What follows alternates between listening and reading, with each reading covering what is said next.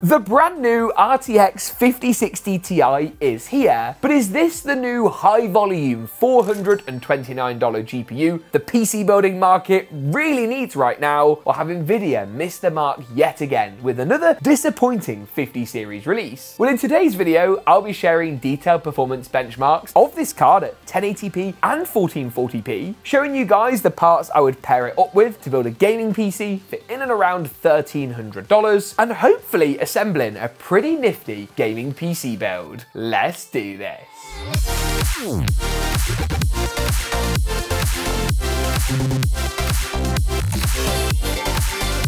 Let's kick off straight away by talking about the 5060 Ti and running through the performance numbers, because guess what? We've already tested it. The RTX 5060 Ti is launching initially in a 16GB variant, with an 8GB variant to follow at a later date. This is going to come in for $70 less at MSRP than the previous gen 4060 Ti 16GB at $429. Now this is a much more reasonable price point and only highlights how much of a rip-off the last gen 16GB 4060 Ti card really was. Now you've only got a 128-bit memory bus, so it's still fairly narrow, but you do get GDDR7 memory, which is quite a bit quicker than the memory we got last time around, and quicker than what AMD seem to have gone for on their Radeon 9000 series. Annoyingly, Nvidia haven't given any media the 8GB card, and we don't know when the non-TI variants landing either, which makes it hard to recommend which of these three cards is really the better buy. Now the 5060 Ti comes at a really interesting time in the PC landscape. We need volume driven cards. We need GPUs that are going to retail for sub $500 that you guys stand the chance of actually being able to buy, especially given the highly inflated prices of the last gen 40 series GPUs. Something I've already expressed my disdain about in a recent video where I talked about the ridiculous stock and pricing issues surrounding the 50 series and Radeon 9000 launches. How realistic this pricing is actually going to be in the market, I'm going to come back to that in a moment. For now, let's look at the performance numbers and see how this thing really stacks up. Starting off at 1080p high rasterization, and in Cyberpunk 2077, the RTX 5060 Ti delivers a fairly respectable 132 FPS on average. This represents around an 11% increase over last gen's 4060 Ti 16GB, though this is notably a good chunk cheaper, which is good, though rather disappointingly, the 5060 Ti 16GB falls short to the 7800 XT from AMD, the closest AMD competitor card at around a $499 MSRP and lags significantly behind the more expensive 5070. Tune up to 1440p and the frame rate improvement is much greater, 25% this time around with an average of 90 FPS, but again the card still falls short to the 7800 XT and understandably lags away behind the 5070. A 1440p high in Cyberpunk, but this time with upscaling, whether that be DLSS, FSR or XeSS set to quality and ray tracing on medium, the 5060 Ti here delivers only a 6% performance improvement improvement over the 4060 Ti 16GB, but does hit the all-important 60 FPS marker. Fortnite at 1080p competitive delivers a pretty unbelievable frame rate as you might expect, but only a 5% performance uplift over the last gen card, while Hogwarts Legacy at 1080p high sees a bigger uplift, but still in that 10% region with 12.9% on the 5060 Ti versus the 4060 Ti. Tune up to 1440p in Hogwarts Legacy and we see closer to a 20% performance improvement, with the 5060 Ti actually beating out the 5070 based on the fact it's weirdly got 4 gigs more VRAM than Nvidia's more expensive GPU. Move through into Call of Duty's Black Ops 6 at 1080p high to wrap things up, and the 5060 Ti is virtually tied with last generation's 8 and 16 gig variants of the 4060 Ti and represents really no improvement. Sadly in Marvel's Rivals we don't see a particularly big performance jump here either, with a 94 FPS average on the 5060 Ti 16 gig, just 5 frames per second quicker quicker than that found on last gen's 4060 Ti 16GB variant. Now in conclusion, my thoughts on the 5060 Ti are really mixed. I'm disappointed that Nvidia haven't seeded us the 8GB variant to test, and I think that the overall MSRP situation, especially in North America, in the UK things are sizably better, is frankly ridiculous. It's hard to give my verdict on this card for its $429 price point if I simply can't trust that this price will actually be seen in the market. I think it's good to see see the price drop on this comparative to the last gen option, but I'd be lying if I said I wasn't hopeful the 5060 Ti 16GB would have represented a sizable performance jump over not only Nvidia's last gen options, but AMD's 77 and 7800 XT cards too. Now, what would I pair this card up with? Well, that's a good question. And the CPU I've gone for, pretty easy one in my mind, the Ryzen 5 9600 Non-X. Now, this is a new addition to the Ryzen lineup, and it's gonna save you roughly 20 to $30 over the 9600X derivative. For this, you lose a few hundred megahertz on the boost clock speed, but you still keep the same number of cores and threads. And crucially, the same support for some of the fantastic B850 motherboards on the market. Now, B850 boards are still a bit more expensive than I'd like, which kind of feels like the story of PC building in 2025. This is the MSI B850 Tomahawk, and to be honest, I'd be happier if it was about $20 cheaper. The reason I've gone B850 is that PCI Generation 5 support is more and I think they're going to come down in price. Everything is just expensive right now, motherboards sadly are no exception. Now this particular board gives you Wi-Fi 7, the latest Bluetooth technology, and a really solid rear I.O. with plenty of connectivity. It's a fairly neutral design with a few neon green accents, slightly weird colour choice from MSI, but it does the job nicely and is going to allow you to opt for any Ryzen 7 or 9000 CPU with out-of-the-box support and no need for a BIOS update. As far as the CPU cooling, let's talk about the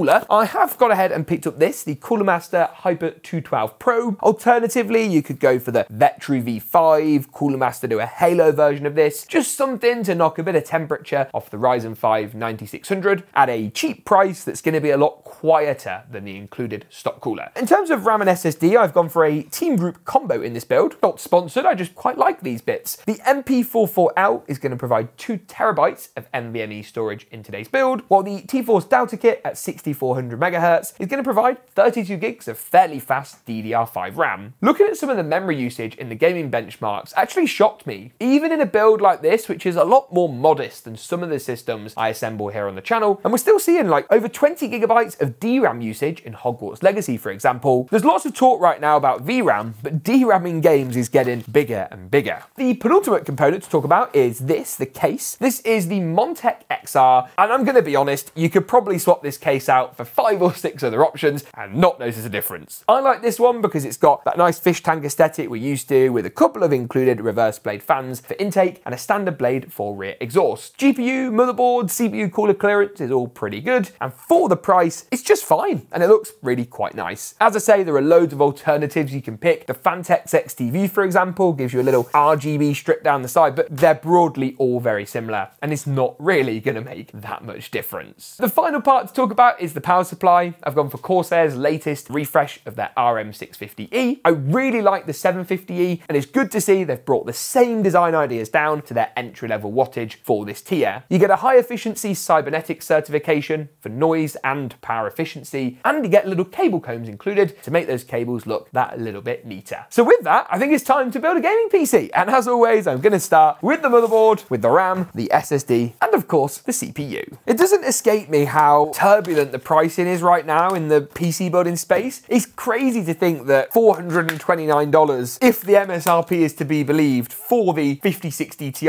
is suddenly a good price. I remember when we were getting 7800 XTs for $449, and that was like best part of two years ago. GPU demand right now is obviously through the roof, and some of the stuff that's going on just is not helping. So the CPU is of course in. I'm next gonna do the memory. I'm gonna use the second and fourth RAM DIMM slots in today's build. I like this T-Force Delta kit because I think it's quite angular and gives a bit of a gamer aesthetic without being too full on. And obviously there's room to upgrade this right up to 64 gigs if you wanted by just adding an identical kit in a bit later. I'm next gonna do the M.2 SSD. Now on this board, you get this rather nice toolless NVMe slot, which you pull off really easily before sliding the drive into place, securing it under this cool toolless pin, and then adding the NVMe heatsink back on. There is one more component though to deal with on the motherboard assembly, and that is this, the Cooler Master Hyper 212 Pro. I always tend to install air coolers onto the motherboard before installing the motherboard into the case. So a standard 120mm ARGB fan, and then presumably we have the actual tower of the heatsink here, which if you didn't realize is virtually like identical to the original 212 from like a decade ago. Very, very similar tooling, just a fancy paint job and some updated branding. Remember to peel off the little protective cover on the bottom and then I'm going to add into place these AMD brackets. They need to point outwards to make the CPU cooler mounting area a little bit bigger. You'll then need to remove the pre-installed black plastic CPU brackets off the top and bottom of the processor. Add on a dab of the included thermal paste. Definitely don't be using anywhere near the whole tube. A large sort of grain of rice size is going to be about right. And then drop the cooler into place. Each of the four screw threads should line up with the holes on the motherboard. Get these nice and tight with the screwdriver, but leave the fan off as it's easier to put in a bit later. With that all sorted, the next stage is to remove all of the side panels from the case. So there's the rear non-tempered glass panel, and then of course the front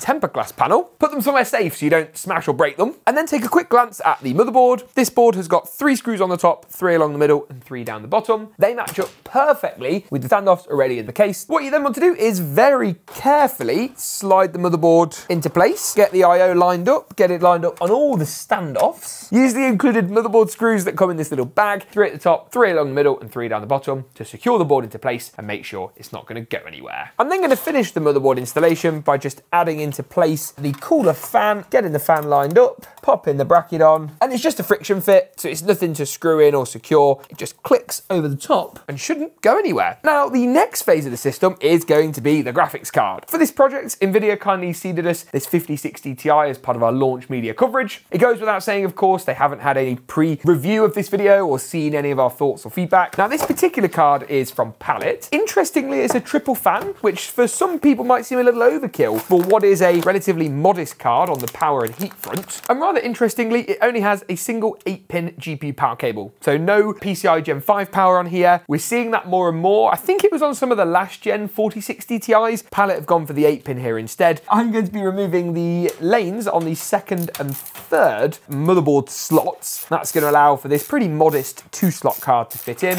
And this fairly small card should look pretty well proportioned with the rest of the build today. So slide that in. That feels pretty good to me. And then secure it down with the two screws that we just took out from a moment ago. And with the GPU installed, the final thing to do is the power supply, cables, and wiring. As mentioned earlier, this is Corsair's RM650E, the new 2025 version, and I have to say, really quite like it. Now, what you want to do is go ahead and locate all of the input points on the back of the power supply, and I'm going to add cables in for the CPU, GPU, motherboard, and a SATA power cable for any old school hard drives, SSDs, or RGB and fan hubs too. And then just slide the power supply into place a little something like so. Make sure, of course, to tighten up the four screws on the rear before then plugging in the CPU and motherboard power first. I'm also going to go ahead and do the front panel cables at this stage, which includes the JFP one to the bottom right, the HD audio to the bottom left, as well as the USB 3 Type A and Type C port. Both are keyed, so will only go in one way, as well as completing all the fan and ARGB headers get these ready to spin and the whole thing ready to power up. Don't forget, of course, as well to wire up the graphics card with the 8-pin power cable just here. And then the big question is whether this system will turn on for the first time.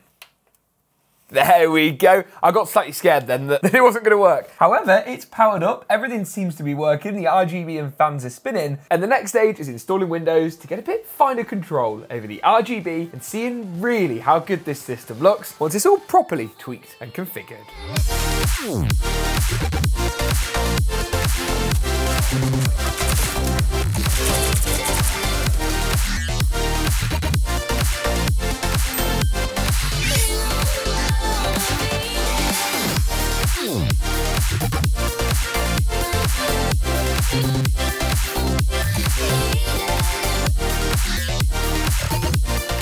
Through to take a look at the performance of this exact build with the 5060 Ti, but instead this time the 9600 Non-X CPU rather than the 9800X 3D processor used in our normalized gaming benchmarks, and you can see the numbers are pretty strong across the board. These are naturally going to be slightly lower than with that higher end X3D processor, but you can see in the likes of Alan Wake 2, Apex Legends, Black Ops 6 and Cyberpunk that frame rates are still pretty strong. A couple of highlights to point out, COD's Black Ops 6 at 1440p high runs at just over 90 frames per second on average. Hogwarts at 1440p high loves the 16 gigs of VRAM on the 5060 Ti with just over 90, and Marvel's Rivals surpasses 80 FPS at 1440p too. This is a build that at the MSRP prices, if they materialise, provides great performance and actually pretty good value. I just wish NVIDIA's 50 series gave us more by way of a generational performance uplift. If you enjoyed today's video, make sure to get subscribed. Thanks for watching, and as always, we'll see you in the next one.